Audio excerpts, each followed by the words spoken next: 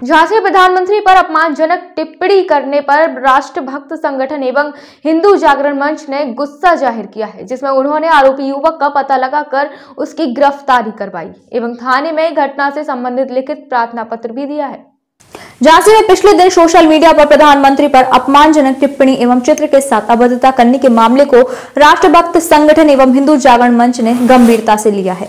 साथ ही बबीना थाने में मुकदमा पंजीकृत कराया है। याद हो कि कल बबीना थाना क्षेत्र अंतर्गत कुछ लोग विरोध प्रदर्शन कर रहे थे, जिसमें प्रधानमंत्री के चित्र पर जूते और चप्पलों की माला लटका रखी थी। इस चित्र को संजू वंशकार नामक व्यक्ति ने फेसबुक पर वायरल किया था। जिसके बाद हिंदूवादी संगठन भड़क उठे। जानकारी मिलने पर राष्ट्रभक्त संगठन के केंद्रीय अध्यक्ष एवं हिंदू जागरण मंच के जिलाध्यक्ष अंचल अर्जरिया बबीना थाने पहुँचे और आरोपी युवक का पता लगाकर उसकी गिरफ्तारी करवाई, एवं थाने में घटना से संबंधित लिखित प्रार्थना पत्र भी दिया है। अंचल अर्जरिया ने कहा कि इस तरह के कृत्यों से आम जनमानस की भावना आहत होती है।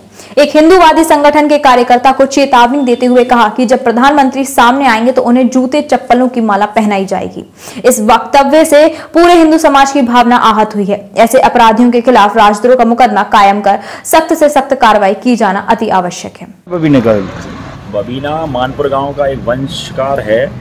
उसके द्वारा आदरणीय प्रधानमंत्री के खिलाफ अभद्र टिप्पणी की गई है और उनके फ़ोटो के ऊपर जूतों की माला पहना करके दिखाया गया इसी संबंध में आज हम बबीना थाना आए हैं और उस व्यक्ति के खिलाफ में लिख के तहरीर दी है और राष्ट्रभक्त संगठन देश के प्रधानमंत्री के प्रति या देश के जो भी बलिदानी रहे हैं उनके प्रति किसी भी प्रकार की कोई भी अपमानजनक टिप्पणी किसी भी हालत में सहन नहीं करेगा झांसी से राहुल उपाध्याय की report PK University. Build a great career at PK University. Admission open for medical science, B Pharma, M Pharma, BSc, BTech, MTech, and Polytechnic Diploma.